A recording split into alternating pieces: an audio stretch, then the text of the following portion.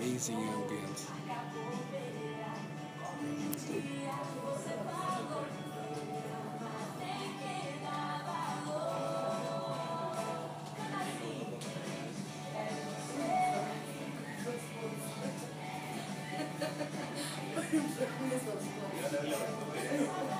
Welcome to this week's show of Torque TV. I'm your host, Captain Emmanuel Mwenda, and uh, as you can see, I'm relaxing and chilling at an amazing Brazilian restaurant in town.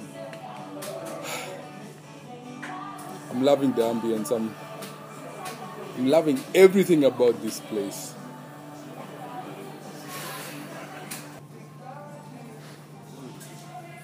You know, I've been looking forward for this day for a long time. And I think you shouldn't even consider changing the channel because the car that's coming, believe you me, you do not want to miss it.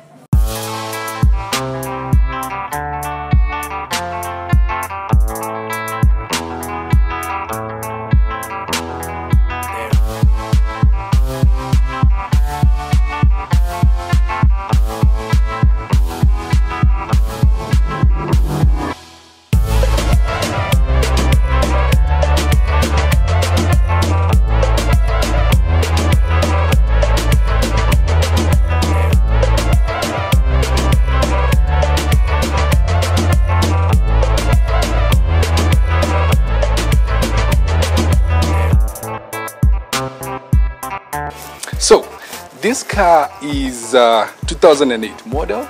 It's a V6 twin turbocharged and produces well and above 400 horsepower.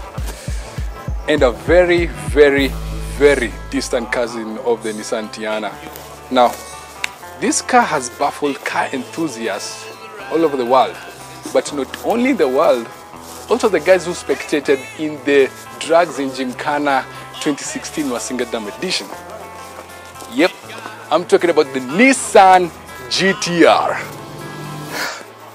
I can't believe we got this car. Take a look.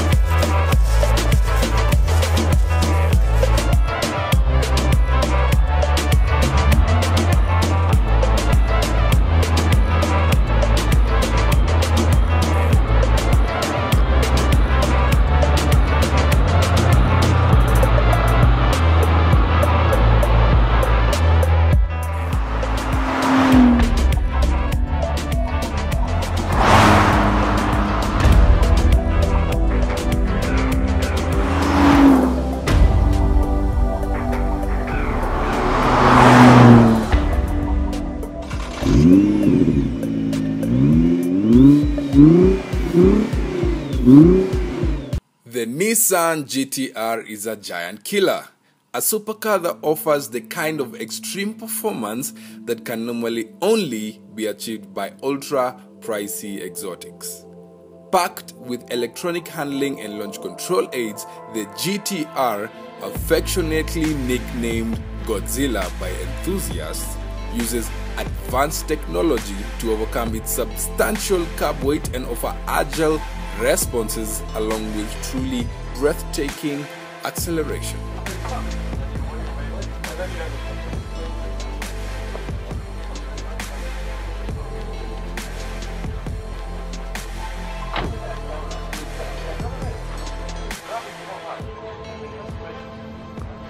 So this car has a fairly complicated all-wheel drive system and the engine also has been hand-built specification.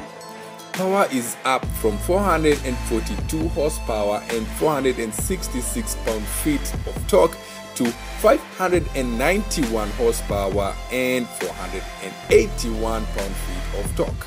And while accelerating and top speed data has not been released, we would expect the Nismo to achieve the 0 to 60 sprint in around 2.5 seconds. God damn.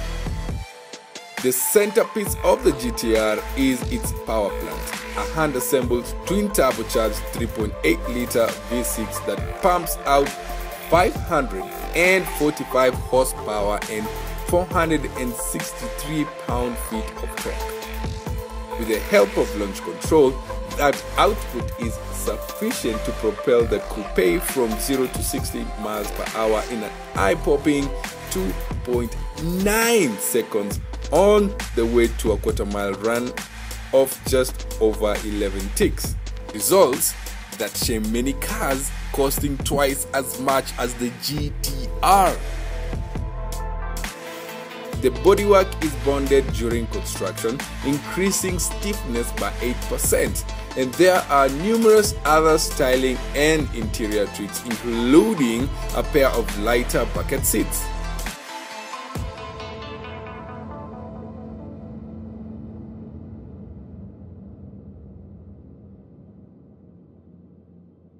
Nissan GTR is available in Premium Edition, Black Edition, Track Edition, and Nismo. The premium model comes packed with standard features including leather seating with synthetic suede seats, an 11 speaker Bose audio system, a navigation system with XM, nav traffic, nav weather, and Zagat survey functionality, an iPod input jack, a multi-function display, and Bluetooth phone connectivity that supports audio streaming. The GTR Black Edition features a number of aesthetics upgrades including custom red and black Recaro heated and leather appointed seats, red and black interior trim, and a dark headliner. Um, this car is fairly laid out. It's classic Nissan uh, everything is right where you need it. Um, I love the steering wheel. Has a lot of knobs in it. You can get the volume, the source, cruise control, and um, you know one thing I love about the steering wheel is the fact that it has magnesium, uh, magnesium gear shift paddles, which are very pleasant to the touch, but also coated with a bit of leather on the side that makes it looks look even more executive. The dials are pretty decent. It has a dedicated uh, digital dash for the gear, which I think is really cool, especially if you don't know which gear you are in. Um, also, uh, the fact that when you sit, you feel very comfortable. It, it doesn't really seem cramped. Just the cockpit just fits right, and that's what I love about this car. I've I've, I've done a bit of uh, sport cars in the past, but this one is, is, is on another level.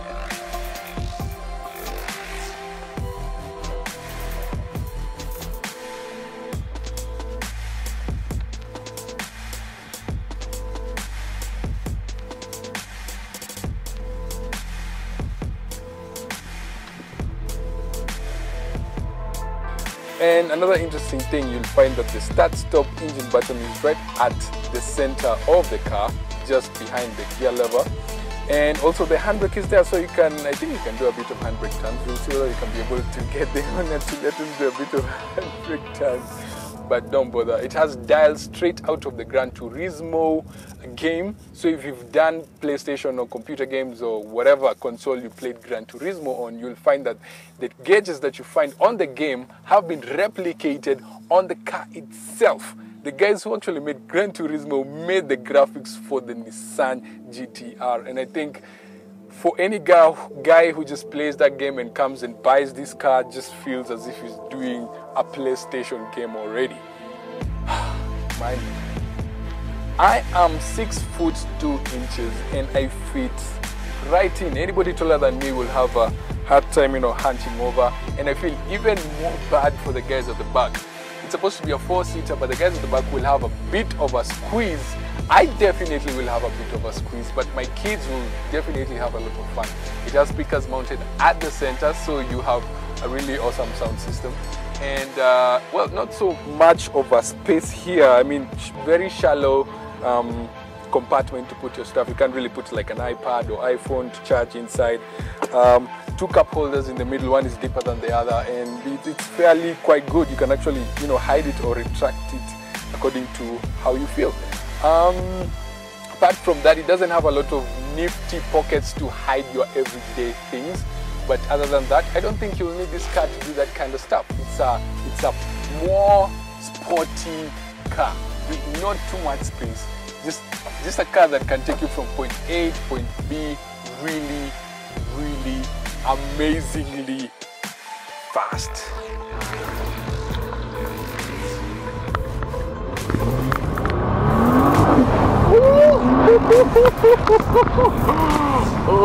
my god, this thing is Whoa, whoa, whoa, whoa! Okay. So, like I said, uh, somebody my size sitting at the back will have quite of a difficult time. I had to move the chair all the way to the front. And as you can see also, if I try to sit comfortably, my head will definitely be resting on the back window, which doesn't make long distance travels any more comfortable. I'll be really squeezed, I'll have a stiff neck at the end of the day. But you know what?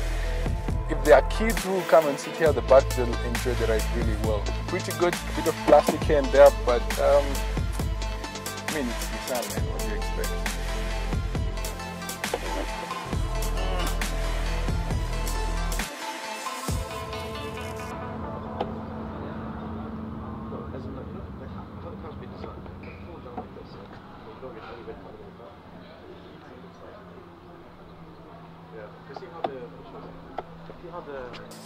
What I love about the, the door is that it's so aerodynamically tuned that the handle is also inside the, the car.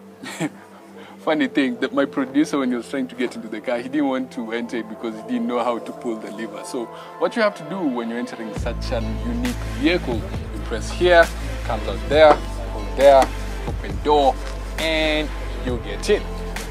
But other than that, it is aerodynamically so tuned.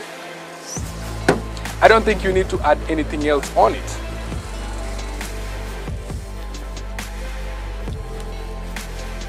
So, um, taking a look at the boot, you'll see that it's, it's a massive hole right inside. In the car, you won't get a lot of spaces to put your luggage, but in the boot, you'll definitely be able to have enough space and trunk to fit in your everyday luggage. Well, not your everyday luggage, but some sizable luggage. Even a Uber. And I like the fact that it goes straight 90 degrees to the body of the car. That makes it easier to put things inside the car and also take them out.